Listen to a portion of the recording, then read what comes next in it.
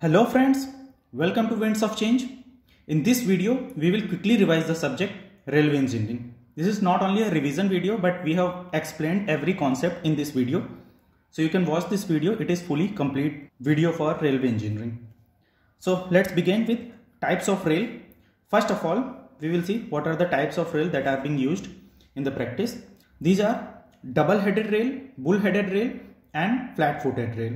So it was previously used but now we, we are using flat-footed rail. In the double-headed rails, we were having a compression zone and a tension zone as two heads while in the bull-headed nose we were having a head at the top and a foot at the bottom and improvised version of this is flat-footed rail which is being used nowadays that is compression zone is of the headed shape and tension zone is little flat so that is why it is called flat-footed rail its linear density is 52 kg per meter or 52 mr and 60 kg per meter or 60 mr flat footed rails. Okay, these two are being used in India. So memorize it, important. Now we will understand the permanent way, that is how it looks. So this is the main concept that we have to memorize. In this, first of all, these are the rails.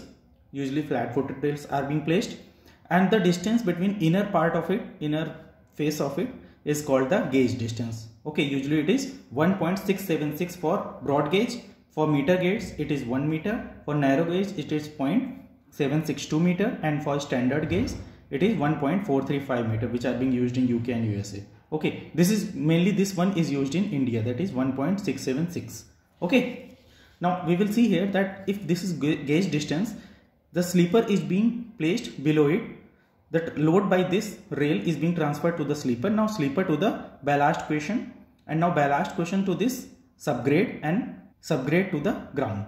Okay. So this is the sequence in which the load is being transferred.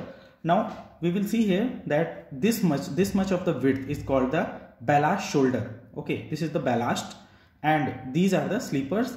This slope is 1.5 is to 1 and this slope of the subgrade is 2 is to 1 so memorize it. It is very important this much width is called the width of formation.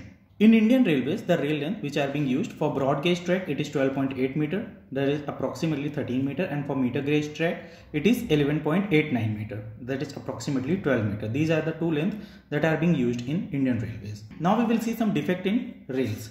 First of all corrugated or roaring rails. What is this?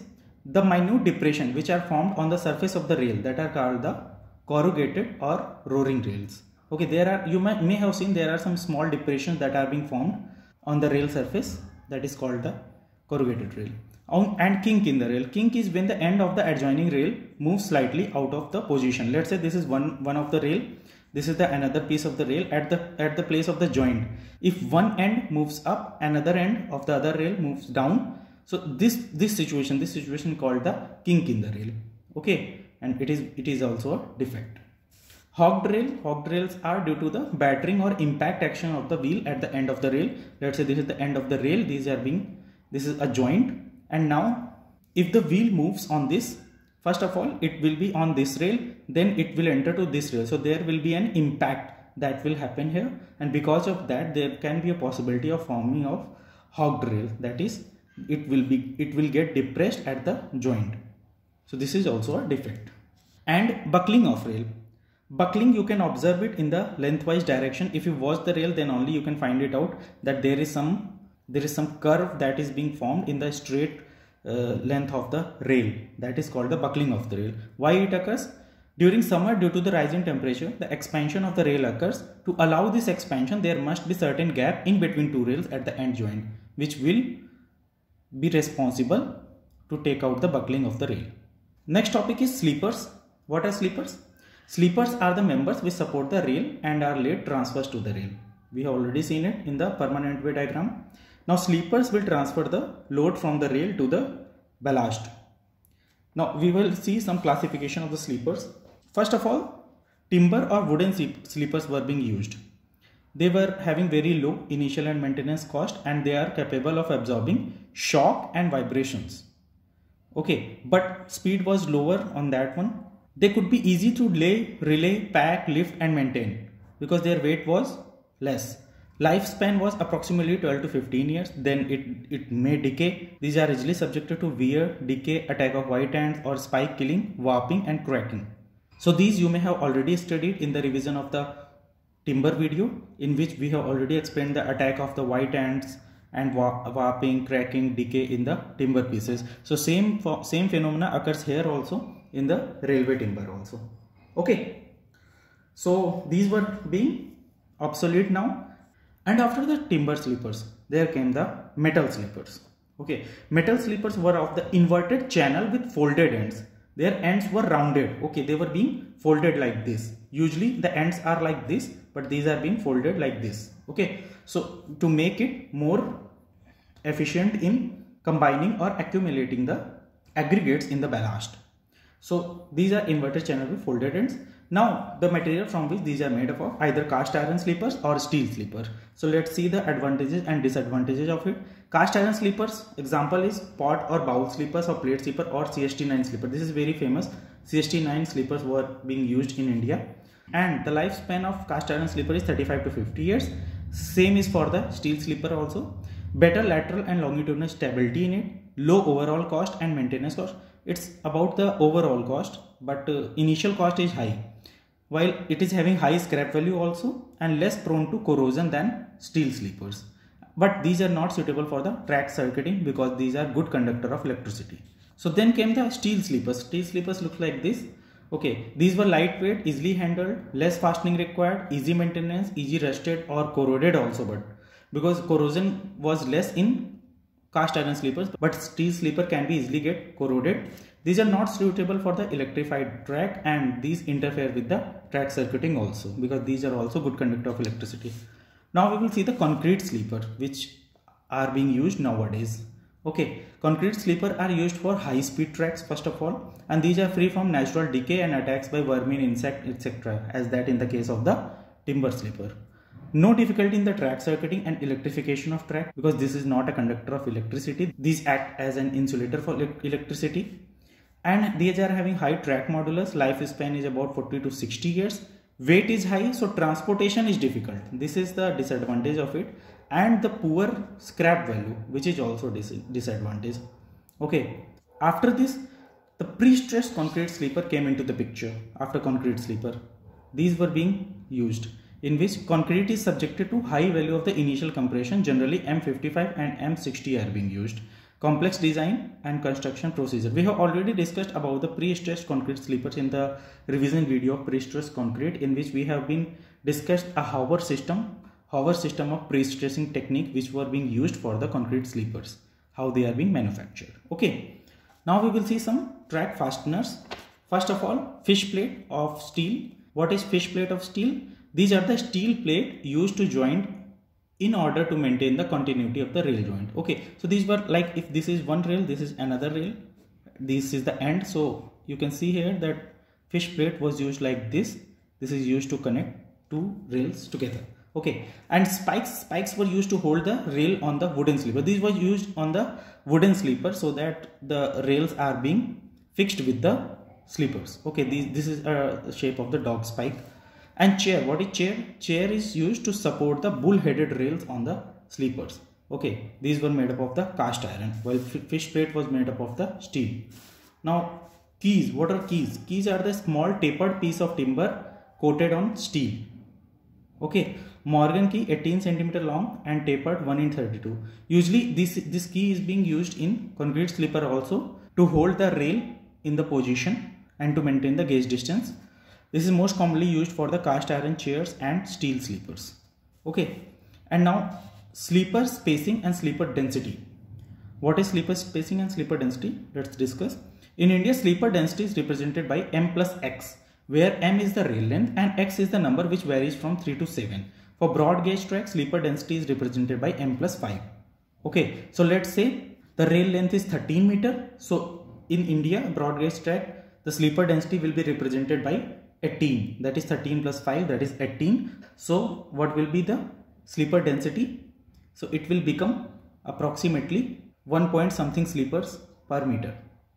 Okay. And now we will see the ballast. Ballast is the granular material. These are like the aggregates, usually broken stone of bricks, concrete, gravel and sand. Okay, mainly the broken stones are being used for the ballast and its grading is properly done. Now depth of the ballast section. This is the next topic which is very important. You, you all know about the ballast. Ballast used to transfer the load from concrete sleepers to the subgrade. Okay, now we will see how we will obtain the depth of ballast depth of the ballast section. Minimum depth of ballast layer, how it can be determined. The formula is S minus W by 2. Now, what is what are these terms? First of all, this this this one is the sleeper and the W is the width of the sleeper and S is the spacing between the sleepers. Now, this distance in between these two, it can be given by S minus W because this is W by 2, W by 2. Okay, so S minus W and the pressure will be taken at 45 degree which will occur okay? So we will see here that this distance is s minus w by 2 so this depth will become s minus w by 2 because this angle is 45 degree okay? So this is the minimum depth of ballast section. Usually this minimum depth of ballast section for broad gauge this is 20 to 25 centimeter and width of ballast for broad gauge track is 3.35 meter memorize this these two are very important okay next topic is the creep of the rail it is the longitudinal movement of the rail with respect to the sleepers in a track. It is obviously an easy topic to understand because we already know the concept of the creep from previous videos. It is the longitudinal movement of rail with respect to sleepers in a track. We will see the theories of creep here. First of all, the wave action theory.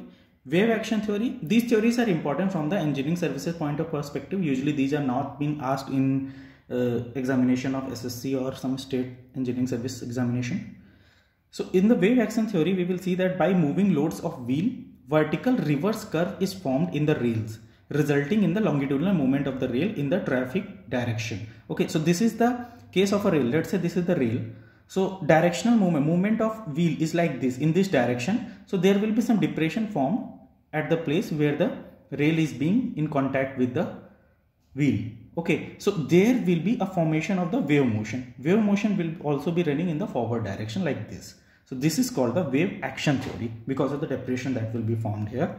While the next theory is of percussion theory. Percussion theory is, is the case in which the creep is due to the impact of wheels at the rail end ahead at joint. Okay, this is the case of the rail joint. Here we will see that it is the moving direction.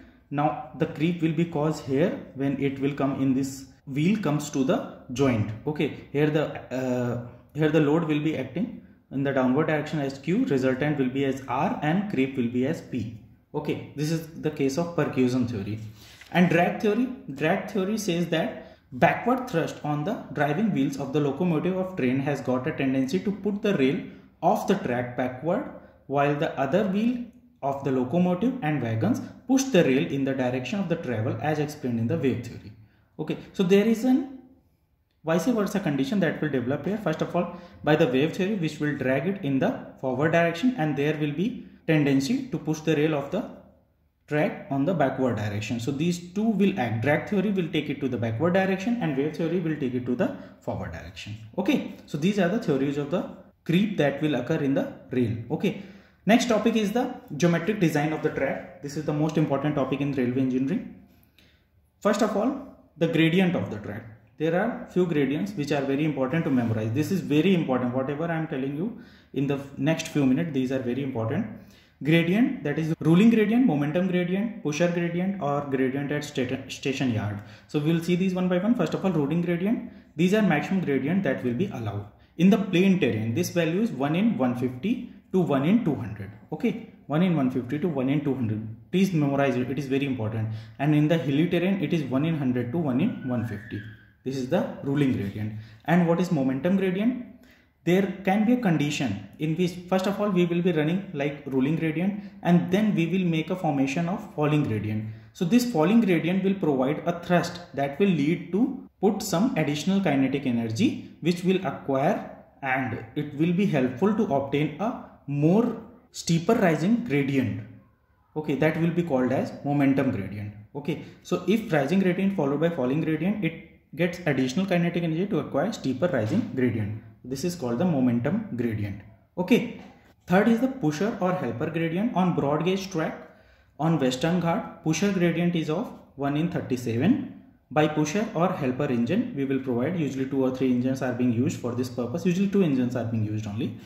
And the gradient in station yard to drain off the water used for the cleaning drains okay. This is about 1 in 400 that is the maximum value and minimum it is 1 in 1000 that will be provided. Okay so these were the gradients. Now we will see a grade compensation. If there is a curve that occurs then there are some grade compensation that has to be provided. We already know, the concept of grade compensation from highway engineering. Now in the case of due to curvature on grade resistance to motion of the train is increases. Okay that is why the grade reduced on the curve is called the grade compensation the grade that will be reduced there. Now what will be the compensation factor? It will be for broad gauge track it is 0.04 percent per degree of the curve. For meter gauge it is 0.03 percent per degree of curve. For narrow gauge it is 0.02 percent per degree of curve. So we have to memorize this that the grade compensation that will be provided in the ruling gradient or the gradient at which we are being designed. Okay at the position of the curve. Now there are some formula for the speed of the trains. First of all safe speed as per martin's formula. For speed less than 100 kmph that will be obtained from this one only vmax can be given by 4.35 under root r minus 67 it is very important. Martin's formula is very important. This will be come out in kmph for broad gauge and meter gauge track. 4.35 under root r minus 67 very important formula. And for if if the if the velocity obtained is more than 100 kmph so we will go for this one. This formula that is vmax will be given by 4.58 under root r. Okay. Where r is in meter.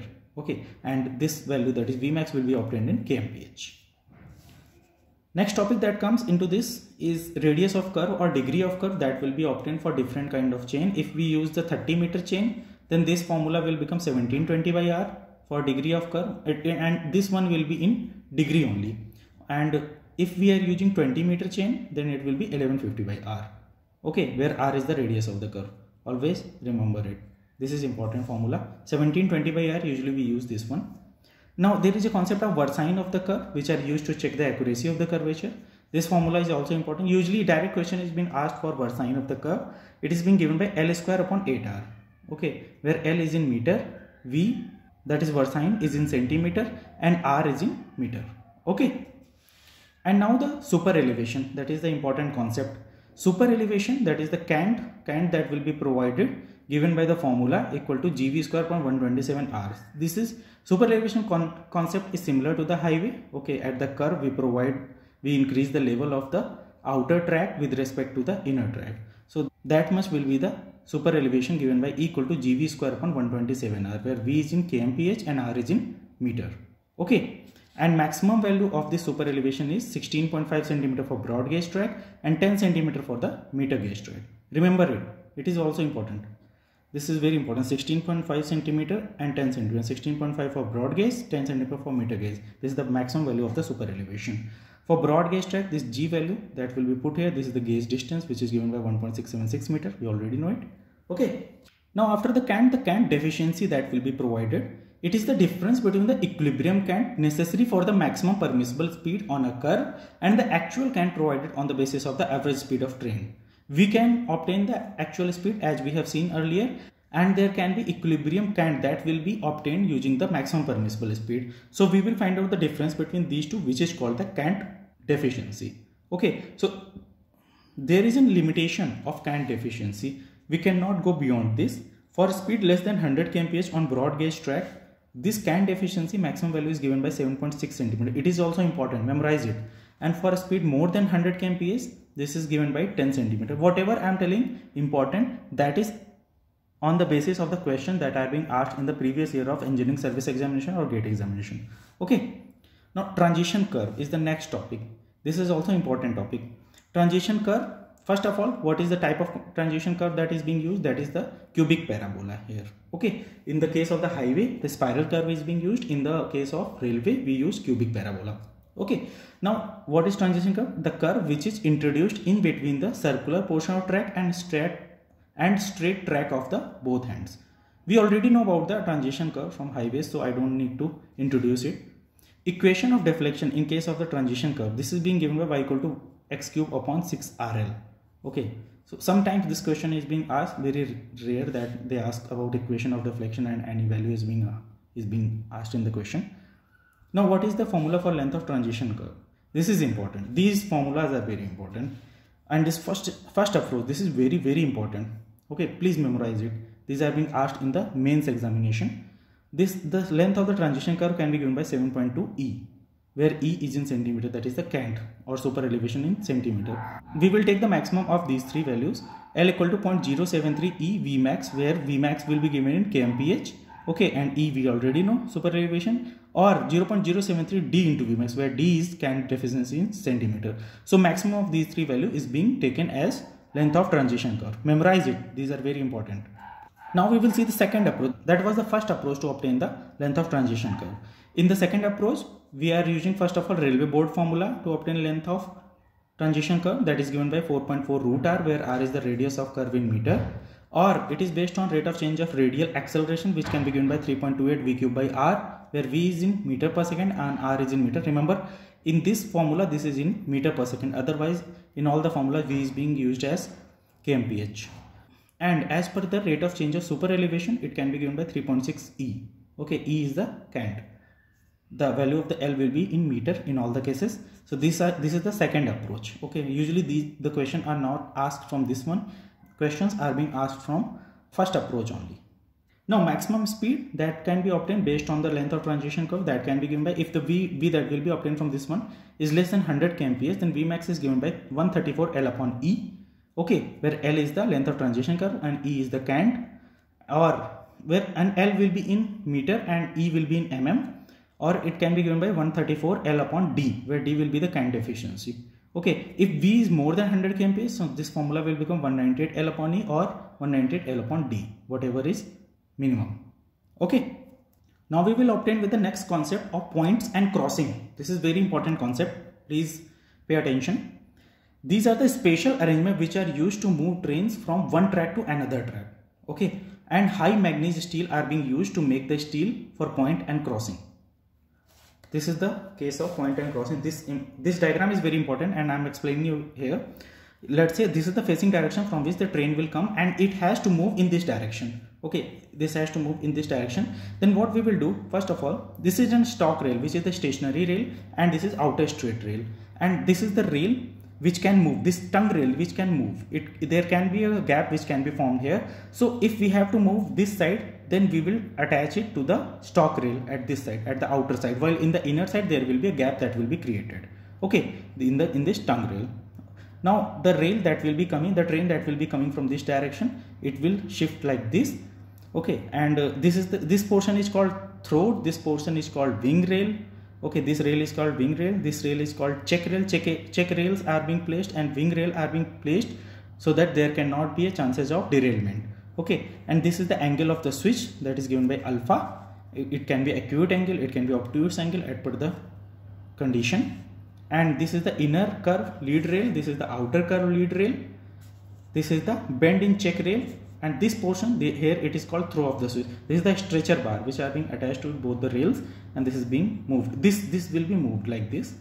Okay and uh, this this portion is called the theoretical nose of crossing that is TNC so this is the case of the left hand turnout okay. You can watch the concept of turnout from a video that I have seen on internet. I have given the link of that video in the description box.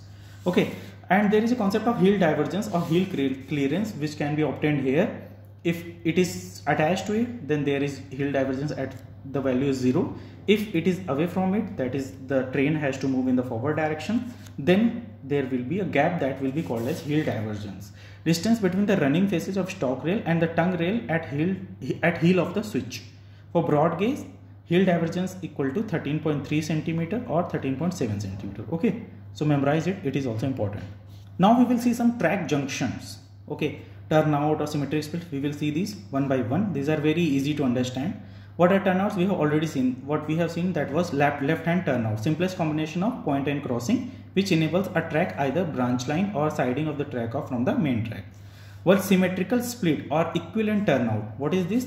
You can see like this. This is uh, this is one direction of the train and, and if the train track has been getting two directions of equal radii in the opposite side then it will be called symmetric split. Here four curved lead rails are being used two check rails and one acute crossing. You can see this acute crossing. Okay. And now we will see the three throw switch three throw switch is a condition like this in which sim similar to the symmetric split but in this forward direction no rails were going. There were only two direction that will be getting that will be obtained while in the case of three throw switch we are getting three directions. One in forward one in left turn one at right turn. Okay or there can be possibility of it goes straight like this and there can be both right turn only or both left turn only. Okay so two turn out take off from the same point of the main straight track that is called the three throw switchage and next is the diamond crossing. Diamond crossing in which there are two acute angle crossing two obtuse angle crossing like this. This is a rail moving like this and another rail like this and there are it is being formed at some ang angle. This angle can be 90 degree also. It can form be at, at 90 degree also or it can be at some angle. If this angle is being obtained then there will be possibility of two obtuse angle like this this one and this one. These two are obtuse. These two are acute angle crossing. Okay so this is the case of diamond crossing. This these are very rare to obtain.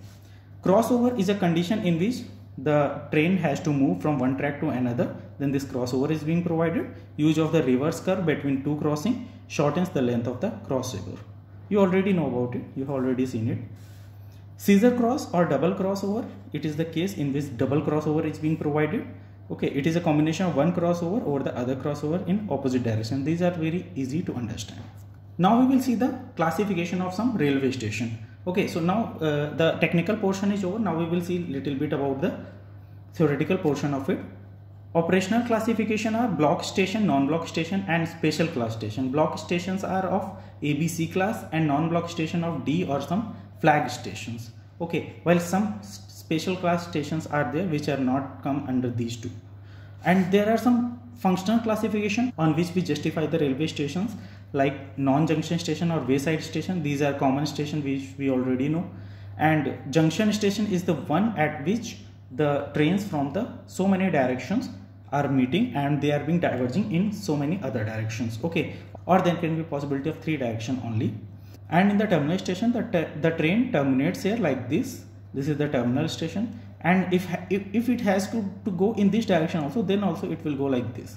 Okay but it will not go in the forward direction. It will terminate here first of all. Okay then the engine is being reversed and then it will go like this. So example of this junction station like new delhi railway station or terminal station example is chhatrapati shivaji terminus of bombay. You may have seen it now minimum distance by which passenger platform should be covered is 60 meter. Okay 60 meter is the cover that has to be provided. Usually the shades for a length of 60 meter is being provided on the platform. Minimum length of the passenger platform is 180 meter for the all gauges. Okay this is important memorize it. What are loops when branch line from a main line again terminates at the same main line this is the case of the loop. And siding when branch line from main line terminates at a dead end with a buffer stop or sand hump like this this is the main line and this is the branch line it terminates here. So it is the case of the siding. And what is station yard? Station yard is the system of track laid for receiving storing making up new trains and dispatch of vehicle etc. So what are the kind of station yard? Like passenger bogie yard, goods yard, marshalling yard or locomotive yard. The question sometimes asked about marshalling yard.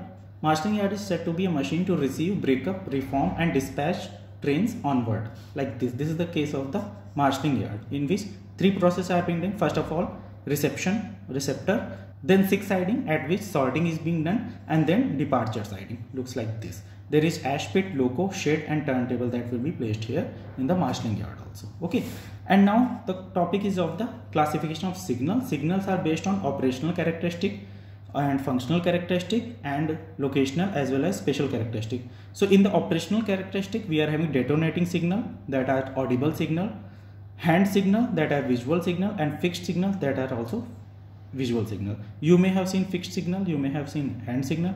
Detonating signal are being placed in case of the caution as whenever there is some work that, be, that is being going on. And functional characteristic, stop or semaphore type signal, Warner signal, shunting signal, that is disc or ground signal. This is used for the shunting operation in which the direction of the locomotive is reversed or color light signal. While based on locational characteristic, reception signal, outer signal or home signal. Outer signal are being placed at 540 to 400 meter before the station or home signal that will be placed at the door of the station before starting of the station. And departure signal, starter signal that is placed at near to the station and advanced starter that is placed at 180 meter from any signal or turnout or some other place where the signaling is required. And based on spatial characteristic, the type of signal are repeater or coacting signal, routing signal, calling on signal or point indicators. Okay, these names are important, nothing more than that.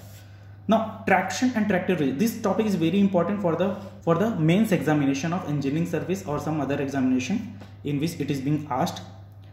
These are very important and these are being asked in GATE as well as engineering service examination. So please focus on this one. This is very very important. First of all, tractive effort. What is tractive effort? The pull applied by the engine on the driving wheels for the movement of the train. This is the pull applied. Okay, that is the efforts that will be put by the engine for movement of the train. That is called the tractive effort. And hauling capacity. Hauling capacity is the maximum value of the friction force that can be obtained between rails and driving wheels. Okay, these are given by F equal to mu r or mu n or mu n WD where this mu is the coefficient of friction point between 0.3 to 0.1. WD is the axial load which is already being given in the question usually. And N is the number of pair of the driving wheels. How you will obtain it? If this is the case, like this is the case of it is being given as 2, 6, 1. This kind of arrangement of locomotive is there. So there is, sorry, this is the case of 2, 3, 1. So here it, it is a case of 4 non-driving wheel, 2 non-driving wheel and between the middle term this is the case of the driving wheels. Okay so six driving means that means three axle. Okay so it is a case of three axle. It can also be given by sometimes it is being given as 462 also. Okay so maybe whatever type it is being given you should know about it. That is the important thing. This is the number of the axles that is 3 axle. So here it will be number of pair of driving wheel that will be 3 in this case. Okay. Now hauling capacity that can be obtained as total resistance or tractive effort. So we have to know the formula for total resistance here and sum of these will be equal to hauling capacity then only the train can run. So what is tractive resistance? Tractive resistance for either due to train resistance or due to track profile. So we will see these one by one. In the train resistance, resistance independent of the speed that is called the rolling resistance. Rolling resistance formula is given by RT equal to 0.0016 W where W is the weight of locomotive wagon in ton okay so this is the formula for resistance independent of speed while resistance dependent on speed the formula is 0.00008 wv where v is in kmph and resistance due to atmospheric condition that is called atmospheric resistance given by 0.0000006 this is 6 times 0 and then 6 wv square okay so sum of these three will be called as train resistance okay and now resistance due to track profile if there is some gradient then the resistance will be given by Rg equal to W tan theta. W is the weight of locomotive wagon in ton and tan theta that will be the angle. Theta will be the angle of gradient. Okay. And due to curvature there will be resistance that will be given by formula 0.0004 WD for broad gauge track, 0.003 WD for meter gauge track and, and 0.0002 WD for narrow gauge track okay in this one w is the weight of the locomotive wagon in ton and d is the degree of curvature it is being given in degree only okay so here we will finish the subject of railway engineering. I hope i have explained all the concept in this video. I recommend you to stay on with this channel. Subscribe to this channel. If you like this video you may click the like button. You may share this video if you find useful for any of your friend. And comment us if you feel any problem or you may contact us at windsofchange2020 at the rate gmail.com and the pdf of this notes is available in the description box from our app of winds of change